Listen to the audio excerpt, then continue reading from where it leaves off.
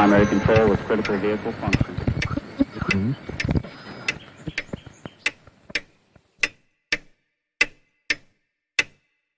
Welcome to Future Thinking, episode 79. Today's guest is Dr. Erica Thompson, who wrote the excellent book Escape from Model Land, which I strongly recommend for reading. Dr. Thompson is Associate Professor of Modeling for Decision Making at UCL's Department of Science, Technology, Engineering and Public Policy. She's also a fellow of the London Mathematical Laboratory, where she leads the research program on inference from models, and a visiting senior fellow at the LSE Data Science Institute. She's working on the appropriate application of mathematical modeling in supporting real world decisions, including ethical and methodological questions. For instance, what is the best use of models in climate change, public health, and economics? Making and using models in the real world is, as it turns out, quite a tricky business. In our conversation, we go deep into the question what constitutes model land and how can we escape model land to achieve good results for society from what we learned within model land. I covered similar topics in other podcast episodes because this question can be tackled from a number of different perspectives. Please, as always, check out the show notes. In the show notes, you find references to articles, books, and the like, and also to other episodes such as episode 68, Modell in Realität, ein Gespräch mit Dr. Andreas Windisch, and episode 53 and 54, Data Science and Machine Learning, Hype and Reality. Now to the conversation with Dr. Erica Thompson. Hello, Erica. Thank you very much for joining in this conversation. Hello, great to be here. You wrote a very interesting book that I read recently named Escape from Model Land. And of course, I recommend all uh, listeners to read this book too. But the title of the book obviously begs the question what is model land? Okay, well, start at the beginning.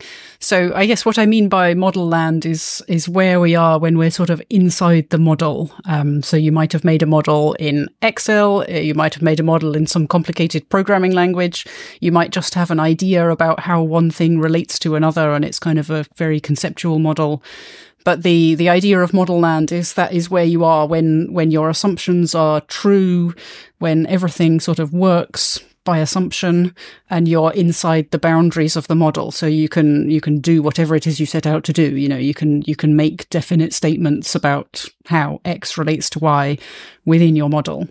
And so model land is is where you are there within that boundary. But of course nobody actually cares at all about what happens in your model, right? There is no reason for anybody to have any interest in this unless you are making a claim that what happens within that model land has some relationship to what happens in the real world. And so we make models because we want to understand the real world and we want to be able to use the model to think about how we can intervene and what kind of actions we can take in the real world to achieve the outcomes that we want.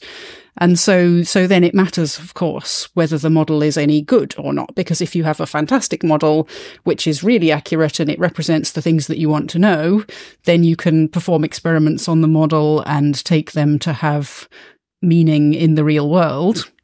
And you can use that to inform your decision making. But if you have a model that is maybe not very good or it's not very reliable or it doesn't represent the kind of things that you're actually interested in or or maybe it's really reliable for a few things but actually it's terrible for these other things then the question of how you get out of model land how you transfer your judgments about the model to a judgment about the real world is i think the key question. And so that's that's the the concept of the book and that's the the question that I've tried to answer which reminds me to a very fundamental question. Recently heard a conversation with Stephen Wolfram. I'm also going to link this in the show notes, uh, also maybe to uh, remind the listeners that all of the references will be in the show notes. Just please look that up.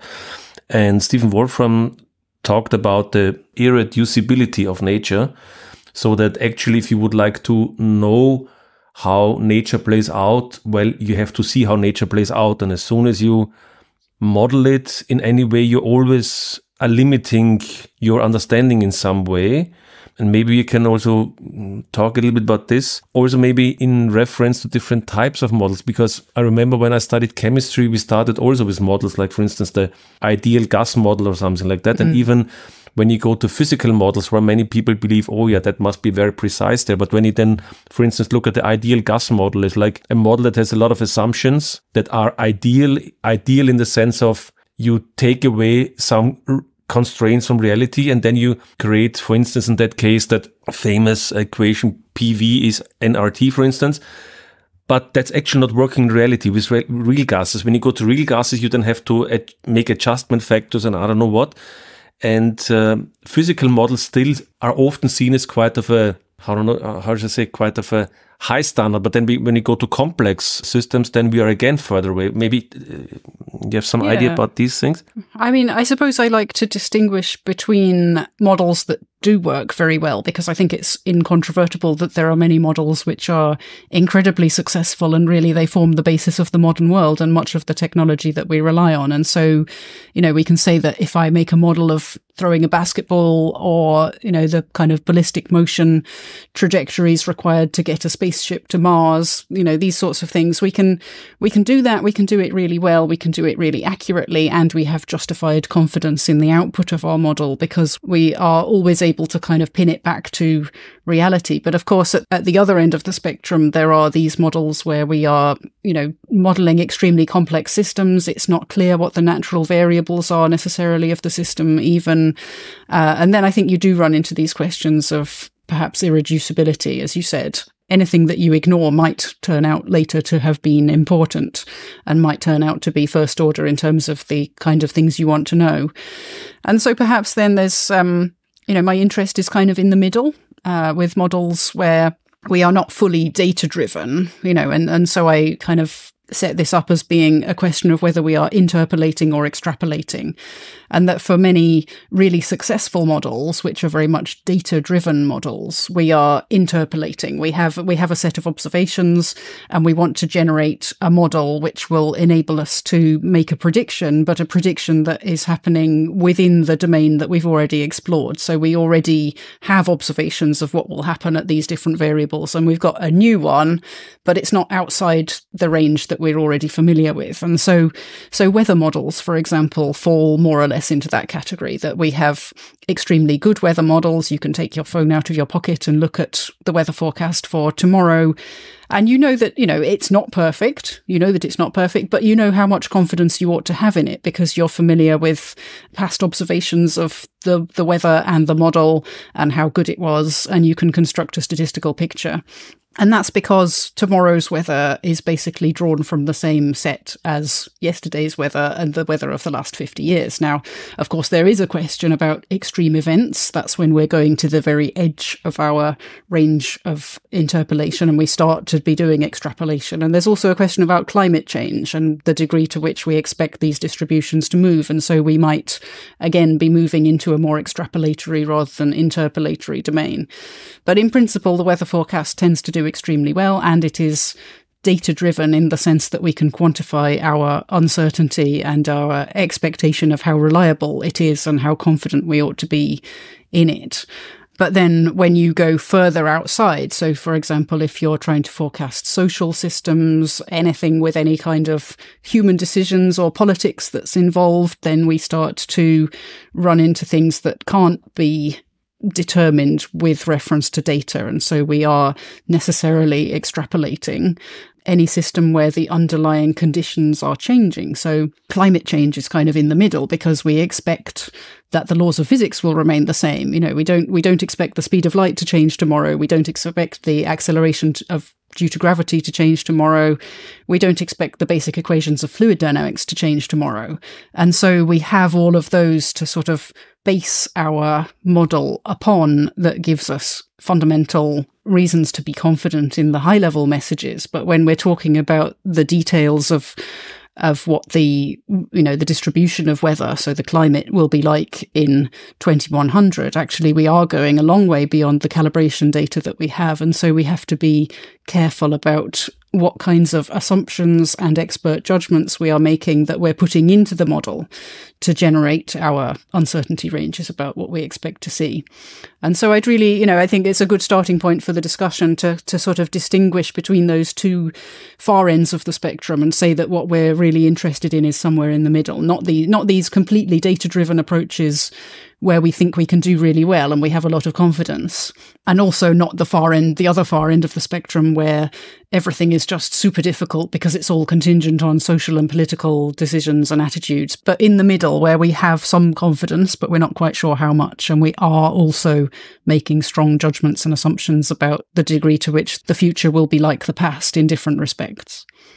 I find this uh, distinction between interpolation and extrapolation also very interesting because you have also certain statistical uh, methods that just comes to my mind like for instance neural networks and stuff like that tend to work relatively well as long as you interpolate but the error like explodes as soon as you start to extrapolate and some people don't take this into consideration as they yeah, probably should exactly yeah. so i mean this question about ai and what ai or sort of fully data driven approaches can do for you. If you you know if you have made the judgment that you are in an interpolatory regime then your data driven approaches can be fantastic. You know they can do really well and they can be extremely powerful and they can do things perhaps that you wouldn't have done by more standard methods. Provide um, data quality provided you have enough data and it's a good enough quality data and all the rest of it. So you know once you've sort of solved that then crack on you know do the ai stuff and go for it but if you think you might be in an in extrapolatory regime, then, you know, just drawing the kind of basic sketch of a few points and saying, well, we could fit a line to it, we could fit a curve to it, we could fit a cubic to it,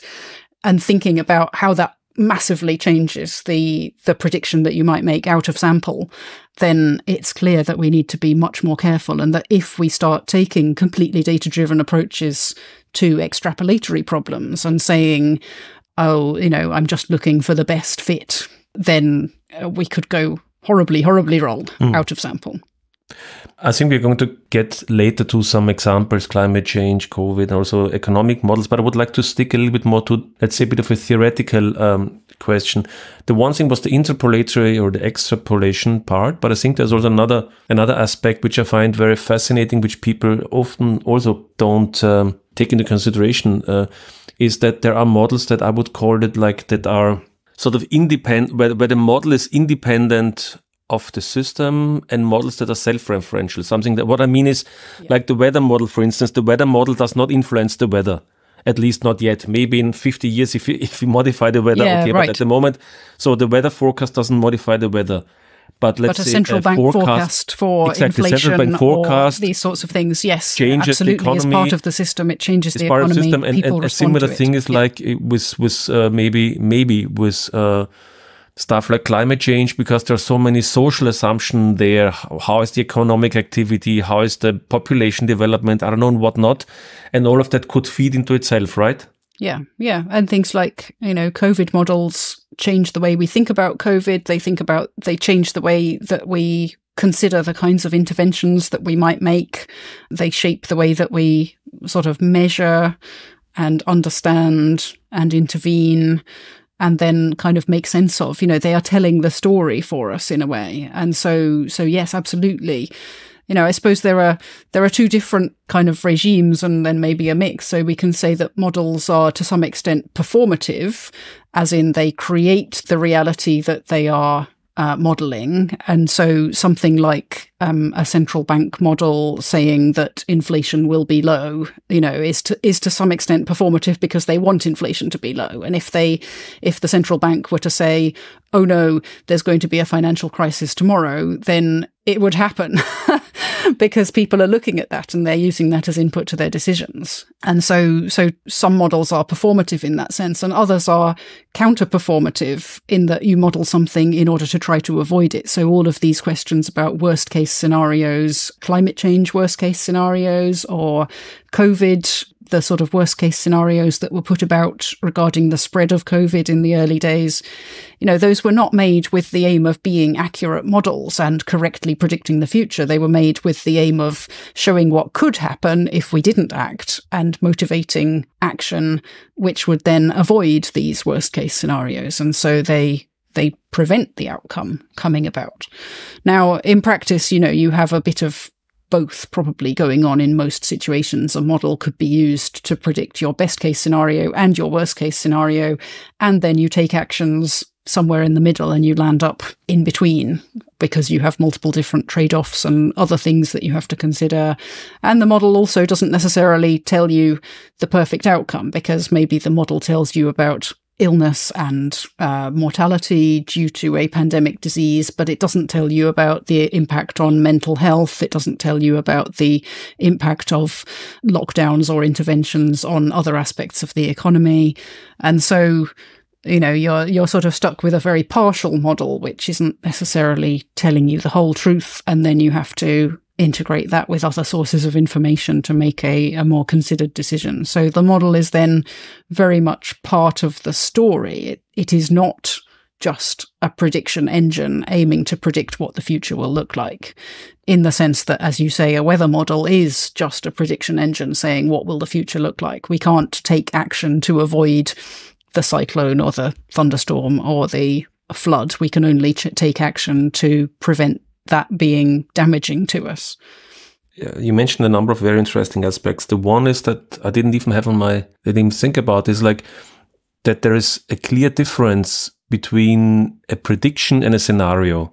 Mm. And I also think like in media coverage or even political uh, use, I think it's not often made clear enough what we're talking about. Are we talking about a prediction actually, like a weather forecast?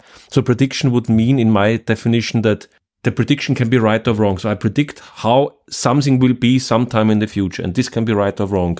Whereas a scenario is like a possible path into the future under certain limited circumstances, conditions, whatnot. Yeah. But it's a scenario. So there are multiple scenarios possible, right? And if you don't distinguish this properly in the communication, then it can be also quite confusing what you're doing, right? Yep. Yeah. You can have a conditional prediction or an unconditional prediction. And in the, I mean, in the climate sphere, we, we refer to the conditional predictions as projections. So you say, if the following conditions are the case, then this is what would happen.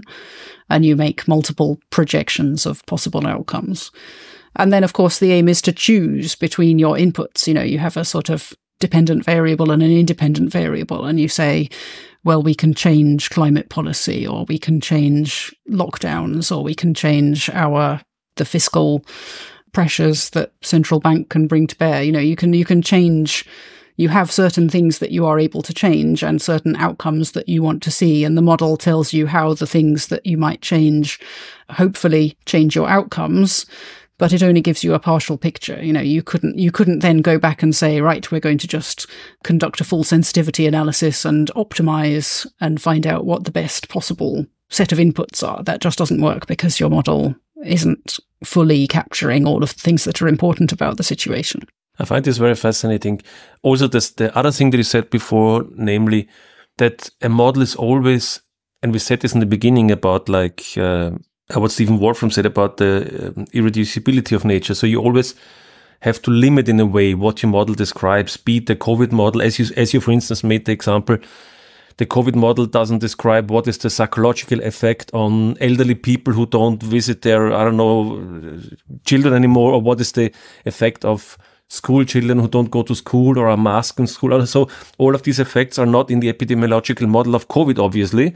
Yeah. So which then, yeah, begs the question, okay, so how helpful is it in the end? And, yeah, uh, I mean, and, and, it's not in principle yeah. impossible to include those sorts of things in a model. You could construct well, a model which includes all of these. Then you then you're down to the question of data quality. What does it mean? How are you going to measure it? What matters? How are you going to decide which bits to include? You know, I suppose one another key point of my book is that is that all of these decisions about model construction imply value judgments about what we think to be important.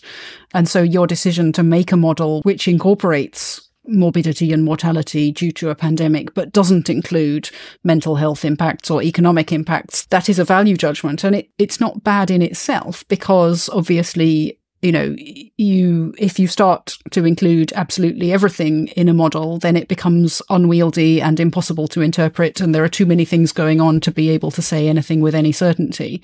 You know, that's why we make models is to simplify, to gain more yes, essential exactly. insights. So I'm not saying that these models should have included any of these other things. You know, they probably shouldn't. It, it makes sense to partition the problem and to talk about one thing at a time. But the question is then, how does that go to the decision maker. So the decision maker has the responsibility then to be integrating alternate perspectives. So perhaps the problem is that, you know, once you've got a shiny model that's been produced by an expert that comes from somebody with the right letters after their name in a prestigious institution and it's been published in a scientific paper, you know, all of these sorts of things, then it then it kind of gains authority and prestige and it starts to look like the best source of information. I think that's when we need to be careful to make sure that we are, you know, integrating insights from different perspectives because you know if if we get kind of captured by one set of models which have one set of perspectives and one set of embedded value judgments we're implying that those value judgments are and should be shared by everybody and of course they're not necessarily I think about value judgment, maybe maybe this has two perspectives. The one is that maybe you can also talk a little bit about this later. It's like many people have the impression, or maybe even some scientists provide the impression, I don't know, that like a model is something mathematical and something, you know, clean and, and, and nice, and you just you just do it and then it's fine. But in, in, in reality, a model has to be adjusted and, and tempered with and like yeah. so that you get and suddenly you have problems like in in climate models for instance i read a, a, book about this and then you have the problem yeah but the real physics like temperature and pressure and so on don't really translate well into the model and then you have to adapt it and so so you you you, you are in such a complex environment that you have to adjust the model left and right yeah. so that you get sort of a fitting picture but that also yeah then you have to ask the question okay but how accurate is this then in the long run because often we see that models work rather nicely in the short run, but in the long run, they can be widely off the mark. And maybe the second thing that came to my mind was you said, okay, we have to limit models to particular, to not make it unwieldy wide. I totally agree.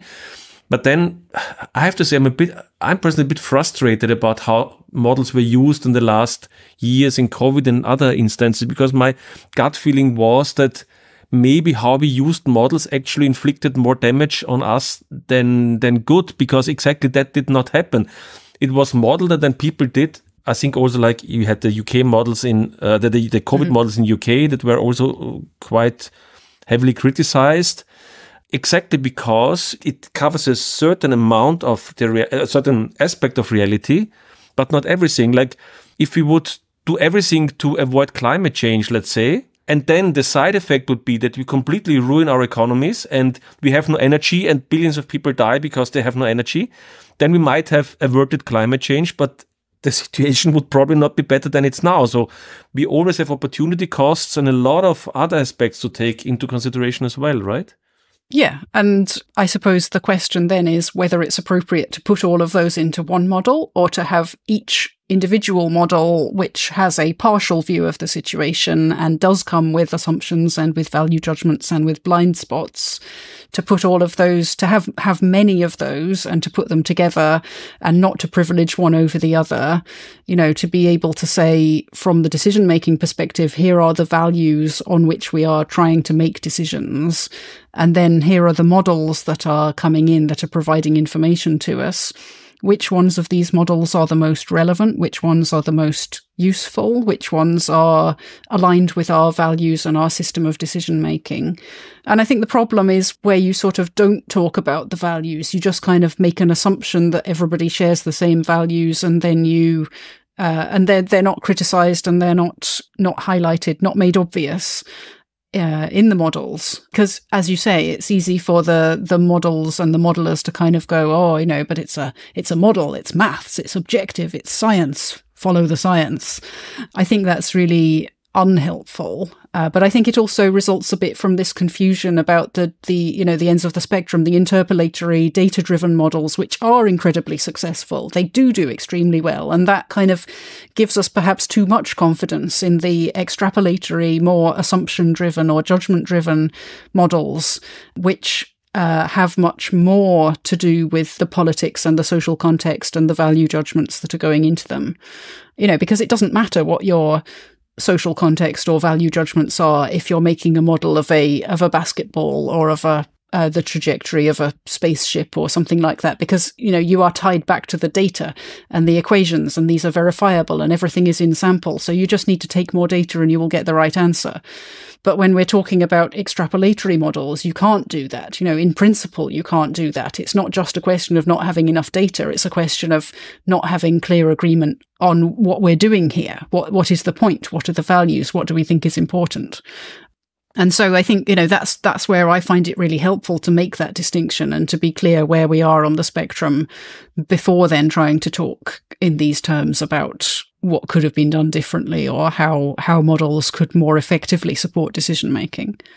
And we also have the additional problem that just uh, comes to my attention is that once you use, maybe get to this later uh, too, but once you use models for decision making, you sometimes, how should I say, pull the rug under the model in the sense that you cannot really check anymore if the model is even accurate. Let let me give an example what I mean by that. From my from my knowledge in the U in some parts of the US they use models to predict or or yeah to predict if uh, imprisoned people would uh, mm. how do you say when they when they become, reoffend uh, yeah you re exactly would reoffend again so like to make a risk assessment by I don't know what data feeds into that model I don't know so someone created that model and now this model is applied and now people are judged by that model. And by the very fact that I'm using that model, I cannot verify it anymore, obviously, because I'm leaving certain people in and certain people out. So I, you know what I mean? So this is also a very different, difficult problem, no? Yeah, yeah. I mean, to some extent, the same goes for climate models. You know, we make predictions of what will happen at high levels of climate change with the aim of avoiding them. And so we hope that it will never be verifiable because we hope never to get to that point.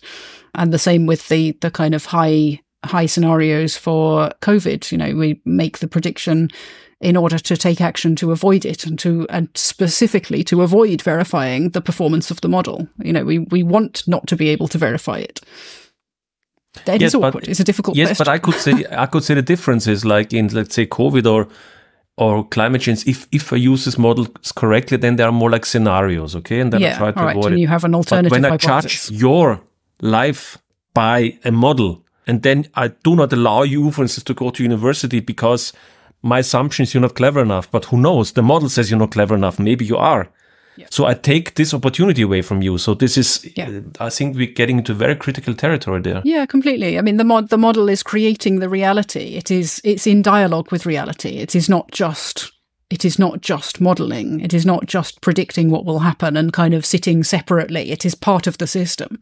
I think all of these models that we've talked about are part of the system. And that is, you know, it, again, that's kind of the difference between interpolation and extrapolation as well. You know, it's a slightly tangential point, but it's, it's the same kind of idea that either we are in a system where the data that we have are adequate for the purpose of understanding the future, or we are in a system where the data that we have are not the sole determinant of what the future will look like, in which case everything is part of the system.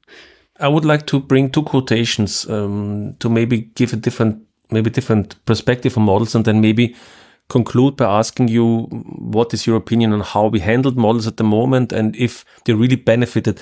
The two quotations. One is from Ludwig von Bertalanffy, who is a, was a system theorist, an Austrian one, also a US one and in, in his uh, main book, General System Theory, in, in the 60s one, I have to say though, he wrote that models um, serve as working hypotheses for further research. So if I understand him correctly, his, his idea was that a model is sort of like a punching ball for, or like a, like uh, mm. something like that, where you put your hypothesis in and then you model and then you figure out if your assumption about the world is correct and you use the model sort of as a, maybe as a test bed for your science but not necessarily for predictive purposes or for societal purposes. And the second one I wanted to uh, bring is from Nassim Taleb, who is, of course, more in the economic domain, who is very critical about model usage. I mean, he says, like, okay, you only should use a model when you're really certain that the model is of high predictive value and, and not in, in these, uh, uh, long tail problems where you have individual individual events can completely change everything. This black swan events.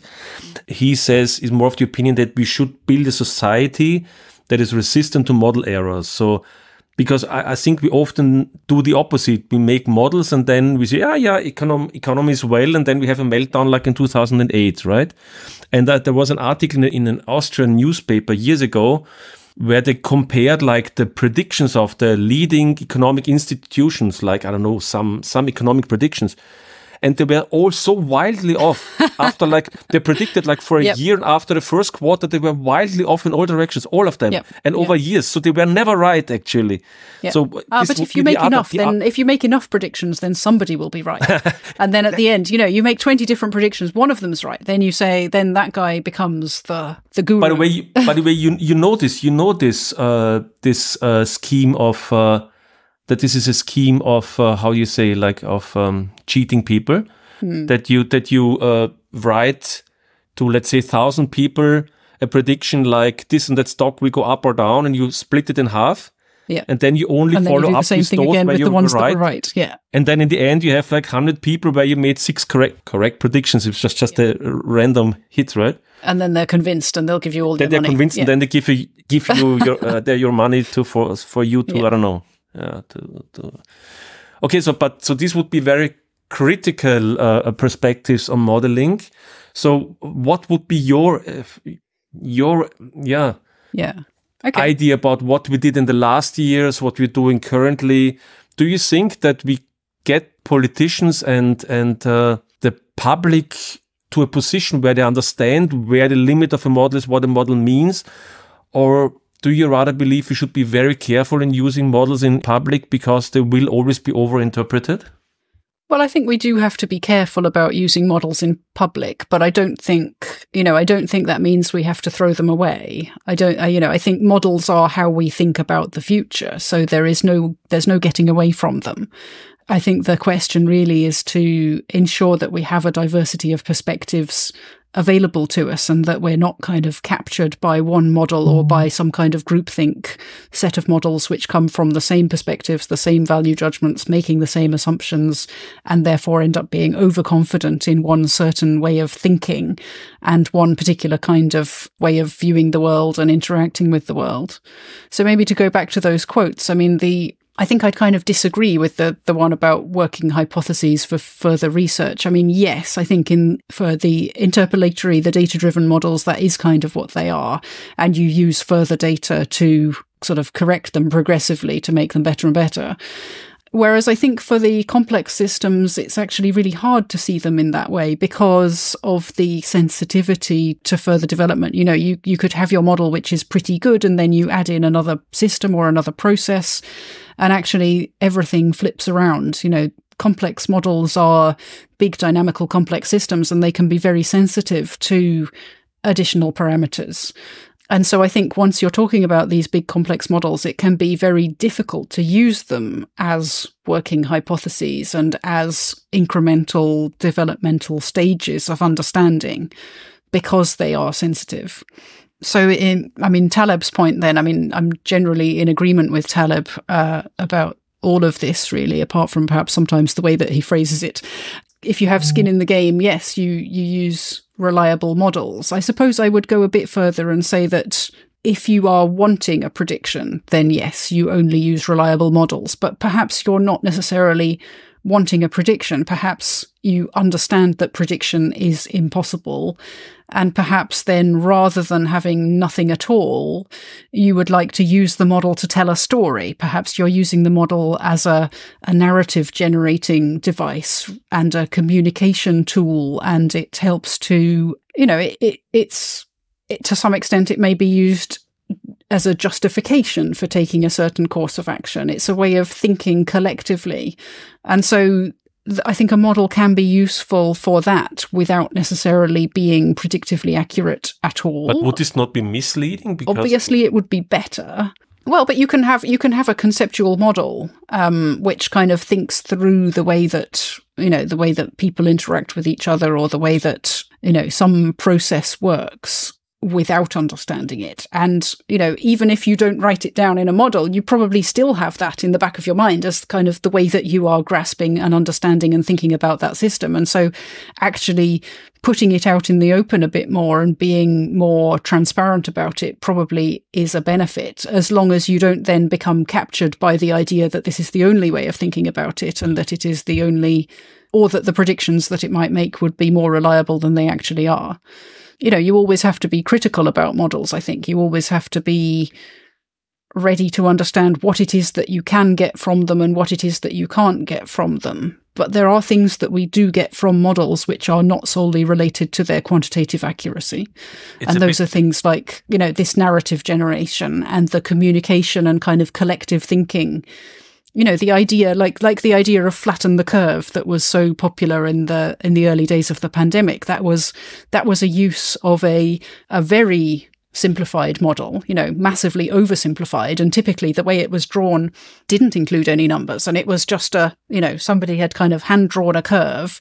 There was no particular basis in anything numerical other than saying, you know, it starts off being exponential, but if we can keep it down, you know, it, it will, mm-hmm. the curve will kind of go down. And if we can push it down, then it will infect people over a longer time and then not overwhelm the health system. You know, that was a very, very, very crude model and it came from the epidemiological modeling community thinking only about infection and hospitalization rates and it didn't come with any numbers attached so it was not verifiable at all but it performed a function of collective thinking and collective understanding and narrative and communication which was valuable. You know i think you can't say that that wasn't valuable Mm.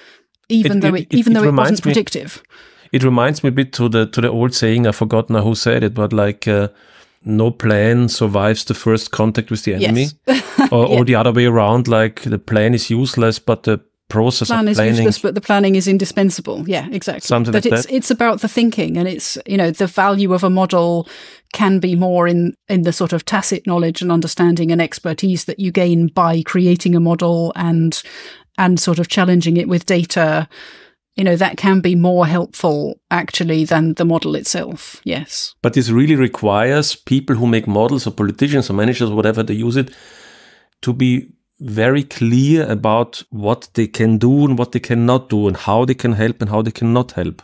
Absolutely, it does. And because uh, because to come also a little bit more to the question of decision making and accountability, I'm working in management consulting since many years. I was also manager in a larger company, and I also observed how planning processes in larger companies work and so on. And I, I had a conversation with a, a friend of mine who was like in, in top management in large companies, and he told me, you know, we always make plans and, and, and, and financial plans for the next years, and they never they never they just never, you the know, window. Yeah, yeah, yeah. exactly they, they they never really work out the way you plan it Yeah. so and and to oppose that i just mm, uh, one of the recent episodes i i recorded with a physicist he's very popular in in in austria i see two sides here of the picture the one is like physicists often have this picture we need to be precise. We have to be data driven. We have to, you know, numbers. And we can calculate things and so on and so forth. We just, if you don't have numbers, and then you just don't do, you're not doing it right. You're not Yeah. doing it properly. And then you have other people like Gerd Gigerenzer or others who say, you know, well, careful, careful. And this is would be more my position. As soon as you're in a complex environment, you simply cannot get the numbers in any reasonable detail so that you can make believable predictions over the long term. But intuition can still be very helpful in decision making. But of course, we live in a society where intuition is not warranted. If you if you are a politician and say, you know, I take this decision by intuition. Oh my God! I would like to see the headlines on the next on the next uh, day in the newspapers. And Yeah. in in management, the situation, as far as I observe, is very often like that. That when you have good managers, that they actually decide intuition based, but of course because they know intuition is not good, then Then they they hire three consulting companies Yeah. or four modelers until they Yeah. get the model or the consultant confirmation that confirms their intuition. So it's what they call policy based evidence making. Pol- policy based evidence making this is very good. I have to. Yeah. Um, I mean, yes. So it's a tricky one. I mean, I think the, I suppose my um, contention in the book is really that actually there is less of a distinction between models and on human intuition than we might like to think. Um, that we sort of put models up on this pedestal again because we're sort of conflating the success of the interpolatory models with you know, the possible success of the extrapolatory ones, which contain more judgment. And so I think that these extrapolatory models actually are primarily numerical representations of intuition and expert judgment as such, you know, we should be kind of treating them in the same Sorry, way. because the expert judgment goes into the because the adjustment expert of the judgment model. goes into the model, goes into goes into deciding what you think is important, and But then know, it's not necessarily clear to the consumer anymore, right? No, because the consumer might have the idea, Yeah. oh, that's the consumer math and- sees it and, and- thinks and thinks you know this is like the weather forecast for tomorrow or it's like Mm-hmm. the um like it's it's like you know the ideal gas law or the trajectory of a basketball and they s- and they give it more evidentiary strength than it ought to have than it really warrants yeah i think i think if we kind of reframe the idea of these extrapolatory models and say that what they are is an encapsulation of somebody's intuition and their expert judgment. Then the question is much more about, you know, who is an expert? How do we decide who an expert is? Mm. Who has credibility to be kind of to be putting their own value judgments and their expertise onto that pedestal? How do we decide? Is it is it somebody with the right letters after their name from the right institution, published in the right journals, or is it somebody with uh, lived experience? Is it somebody, you know, you can, you can imagine a lot of different ways of of approaching that. Um, thinking about climate change, for instance, is it right that atmospheric physics is the basis of our climate models, or should we really be starting with ecosystems, say, or hmm. or human systems, hmm. and working out to include to include the climate, the sort of physical climate? You said something here that is very, very dear to my heart, so to speak, because something I, I was thinking a lot in the last um, years is like to discuss what is expertise, who is an expert, hmm. and because someone turns up on television and is now the expert for the pandemic. So like, and then if you if you criticize this person, then you criticize science suddenly, right? Uh, so that's not how the world is supposed to work, in my opinion. We, because in complex problems, we see that there are a lot of experts who have different opinions or more nuanced opinions or see different aspects. And I think this discussion, who do we put on the table and, and who not, and, and, and why do we bring, do we also bring on the table people who have antagonizing opinions and so on? For me, this is the much more important discussion than what the model tells me in the end. And I, uh, you know, I think you can see very clearly that trust is a social process and expertise is socially determined. It is not something that is that can be quantified as a you know some function of your past. It is I will accept you as an expert if I have confidence that you have the right expertise and that you share my values. You know, that's important as well. And so I think that there's a conversation which is very much missing about the values and politics of decision making, which kind of have been have been pushed to one side in this stampede towards hmm. evidence-based decision making and towards the numerical and the quantitative and the financial and the scientific, if you like, and away from the questions about values and politics. I, I think that that's a huge mistake because it hmm. means that the values and politics are then implicit in the models rather than being open and transparent. And explicit. And it means that people haven't got the starting point to be able to enter into that conversation. If you say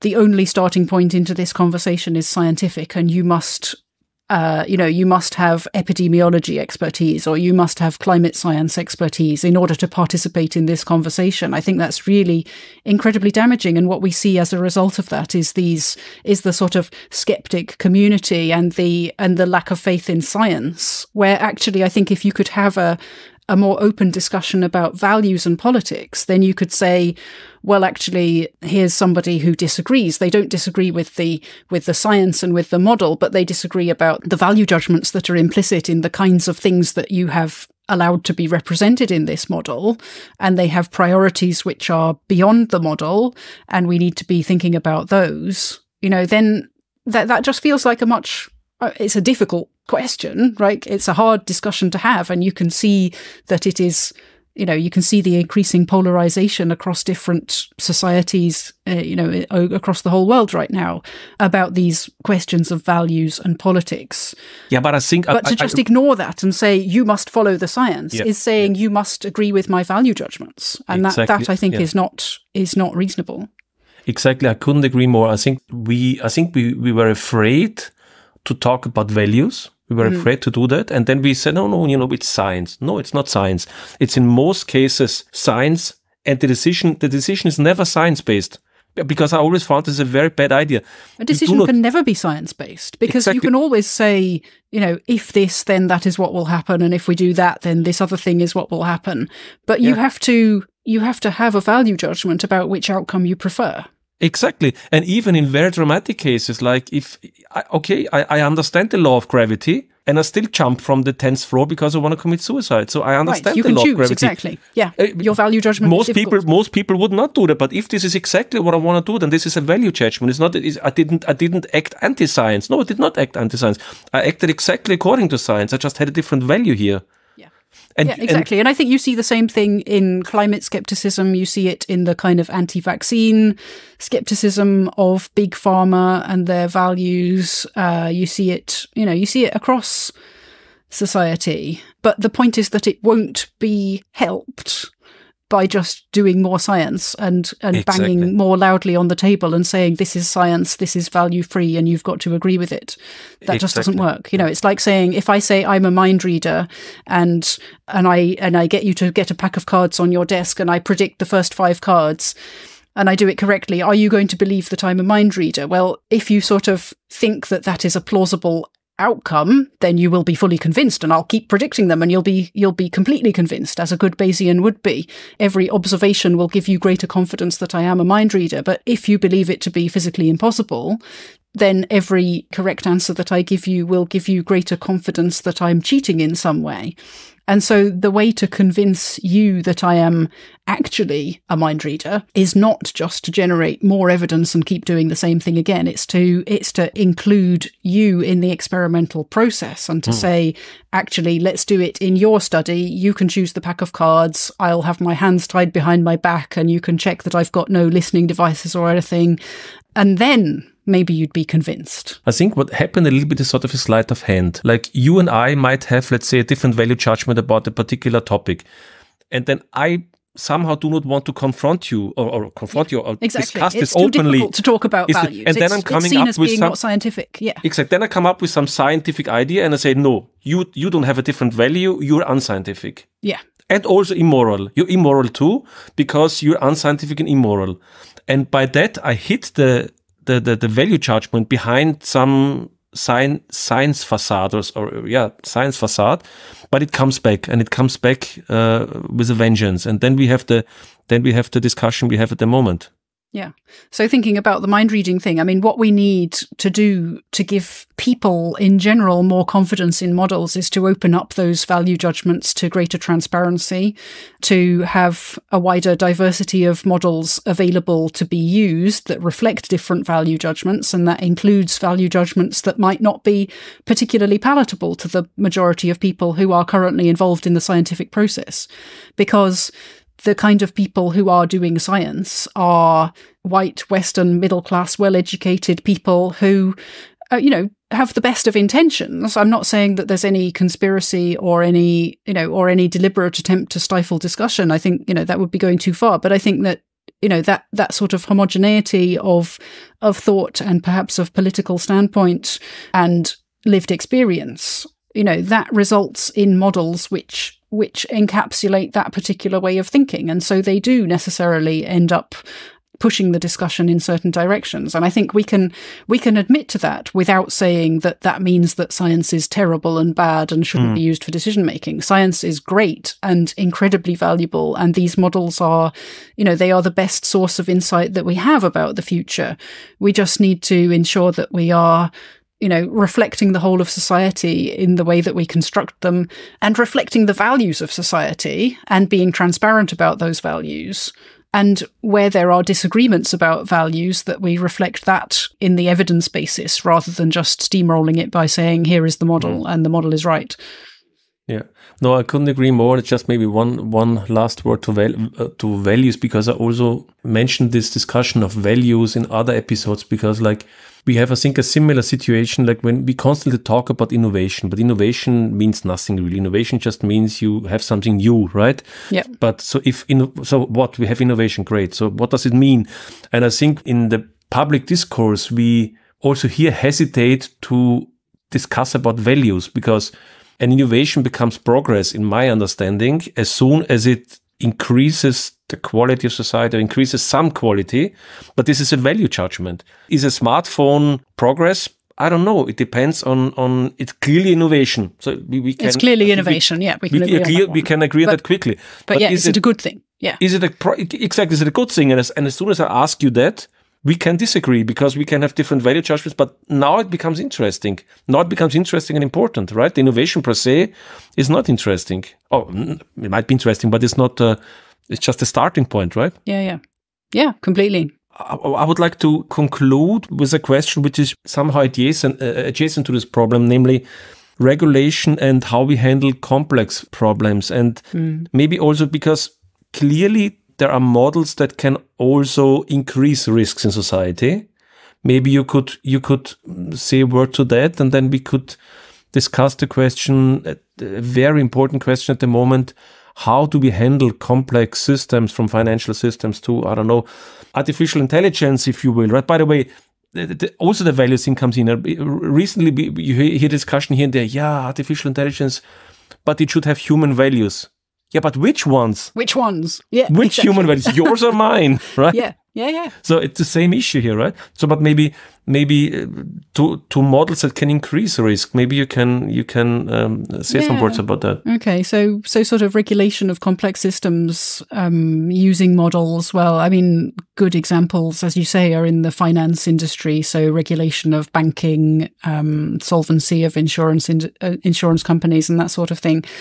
Um, and yes, you sort of end up in an arms race of of a complex model versus another complex model. You know, one trying to find a way to dampen the behavior in the system and another finding a way to exploit the behavior of the system and making it less less stable yeah regulation is always going to be tricky and this comes back again to the point about complex systems being sensitive to to changes and that's that's both in terms of you know the the famous butterfly effect the changes to initial conditions and also what i call the hawk moth effect which is by analogy with the butterfly effect the change of model structure. So when you introduce a new process or system into a model you know you don't just make an incremental change necessarily to the outputs of that model. You can make a really uh, fundamental change to the way that it works and the kind of outputs that you get and I think that certainly should lead us to some degree of humility in uh, how we manage or regulate complex systems. It is it is difficult, and that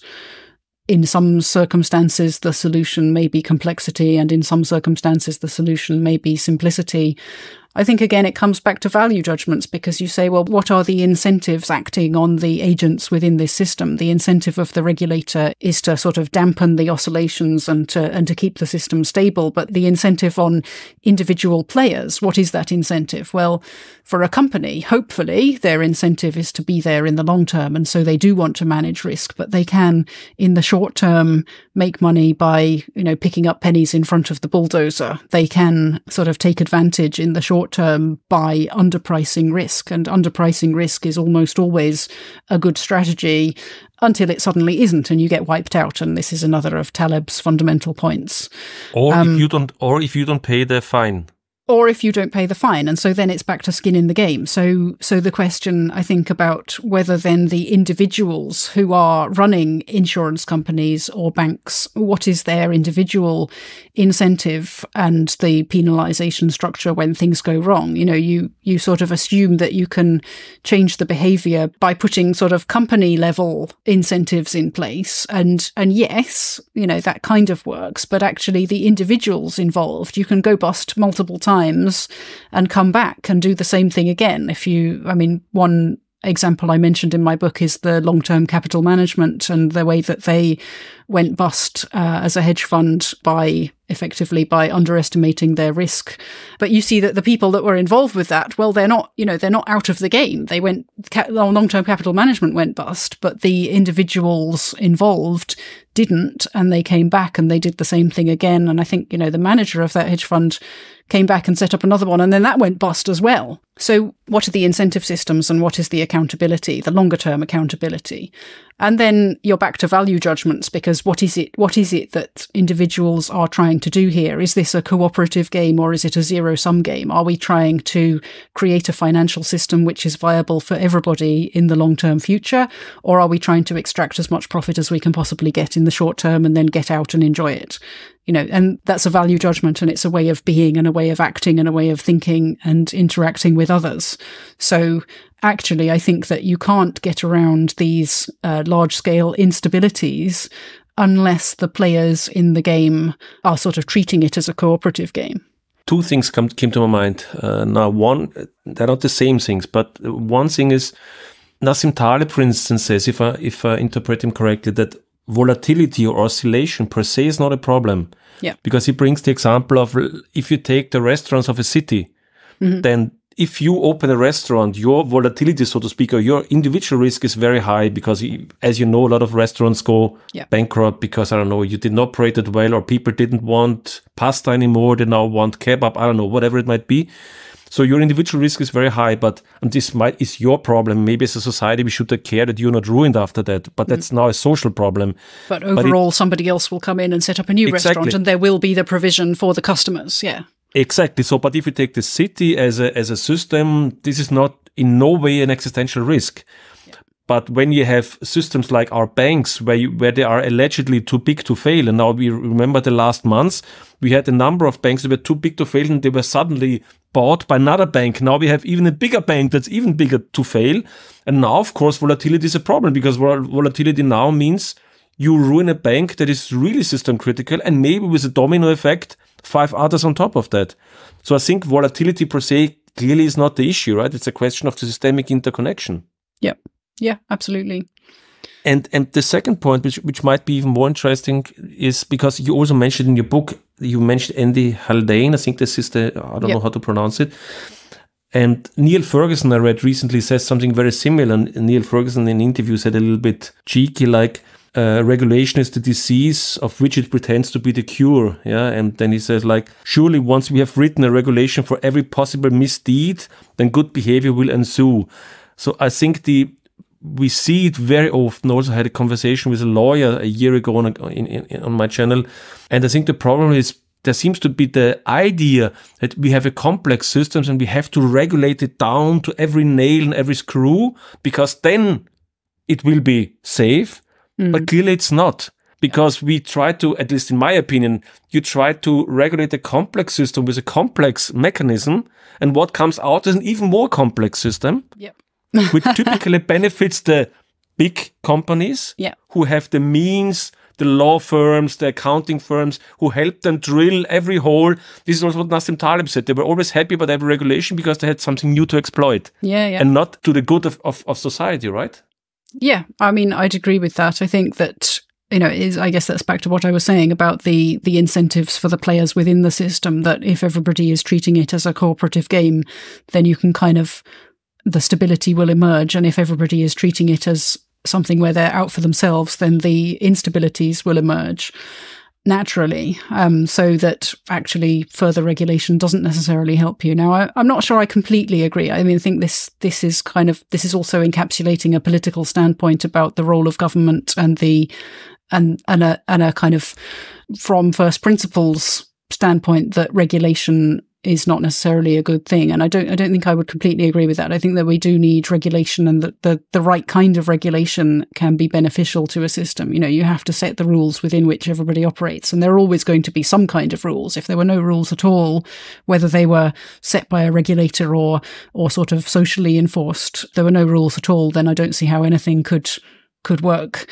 No, I, sorry, I also don't think that then I probably didn't represent Niall Ferguson correctly. Just put out like a catchy phrase here. But yeah. he didn't, in his conversation, he didn't say we should have no regulation. Yeah, he sure. said okay. we, I mean, need a I was just different saying, type of I don't think regulation. and regulation Yeah. per se is bad, but I think Yeah, that actually regulation that proceeds from an alignment of values and incentives is more effective than, as you say, one that attempts to kind of nail every hole individually, because there will always be in a complex system there will always be more holes that you have to nail, and when you nail one hole, then you spring a leak somewhere else. Yeah. I think this would be pretty much what he said. Yeah, that you, but I think it's much harder and probably also much harder to sell, uh, much harder to make such type of regulation and also much harder to sell it because people always believe, oh, more transparency, more regulation, all of that is good, but uh, not really. Yeah, I mean it's hard. It's because you're sort of you're trying to create a system rather than rather than regulate Exactly. you know your your sort of how do you create a self-regulating system where you have a bunch of people on the ship who will go and nail the holes when they see them because it's in their own interest not to have a ship that sinks rather than one where everybody sort of has their own lifeboat and if the ship sinks then they're going to make off with all the cargo And maybe like as a as a final question, what is your opinion about what we experienced in the last years with COVID, climate, and uh, I don't know what? Do you think we learned as a society um, from how we used models and and how we should use them in the future? Because because at the moment there's a lot of talk about oh there's such a such a skepticism about expertise and so on and, and I say yeah actually but that's not necessarily a bad thing. If people tend to be more critical about who is an expert and who is not but maybe I'm wrong. So do you see it rather positive or rather problematic or what should we do to so that we come as a society to a, to a better handling and better use of models Well, I think a bit of both, really. You know, I think I think it's been a really interesting kind of real time case study of how to use models in decision making, and maybe also how not to use them. Um, and you know, we're not going to get it right every time. So certainly there are lots of lessons to learn. I think that we are learning those lessons, and as we learn some lessons, maybe the pendulum swings too far in another direction. And if we go too far towards you know, decision making based on values and intuition, and we throw away the models completely, that would be going too far. And we'll end up, you know, having difficulty the next time we have some kind of big critical thing to think about. And then perhaps the pendulum swings back the other way. So, uh, I think I think it's kind of an ongoing process of of navigating the ability of science and the function of science in society. Clearly, there is a movement, you know, not just in the last three years, but in the last fifty years, towards science being a more fundamental part of decision making and having a much bigger place at the table in terms of deciding how policy making and decision making ought to take place, and that that is but uh, I'm sorry to some to extent a interject here, good but thing. And But but you don't think that we we should let experts decide? I mean, like like in the Platonic sense, like well, we do. Like we will Plato always said- let experts decide. The question is how we how we determine who is the expert. Like in, prin- yeah, but in, in a political practice, sense, in, a in practice, sense? nobody. Well, what do you mean then? No, I mean like uh, Pla- Platon had in his uh, one of his dialogues the idea that every king should be philosopher, or, or, or only philosopher should be king. Like to the modern to the modern example that uh, to to the modern times, it would probably mean Scientist. Yeah. every politician should be a scientist, and and then he or she takes the right decisions. This is not what you mean, I suppose. no, that's not what I mean. I think I think that the policy making and decision making are a different skill from science, and so obviously it's helpful if policymakers, decision makers are equipped to understand the language of science and to be able to ask intelligent questions about the science and to be able to critique and to say actually you know does this embody my values or does it not? and and to be in dialogue. And i think we have got better at at dialogue between policymakers and scientists. And and part of that comes out as this you know all of this question about experts and who is an expert and do we trust the experts or not? But i mean ultimately the definition of an expert is somebody whose judgments you are willing to accept as your own. And so if somebody if somebody claims to be an expert, but you don't trust them, then de facto they are not an expert. So we have this sort of social question of how we decide who is competent to be trusted with these kind of information gathering processes.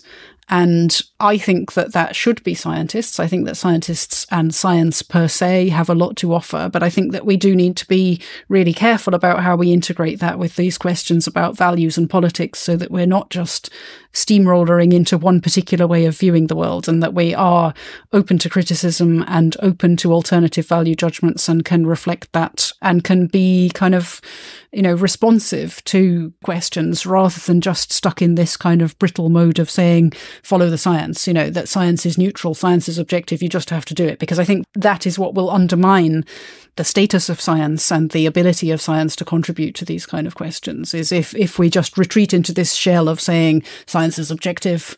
You must listen. You know we have to we have to be more open and we have to be more nuanced about how we integrate different perspectives into science. Erica, thank you so much for the conversation. well thank you. It's been fun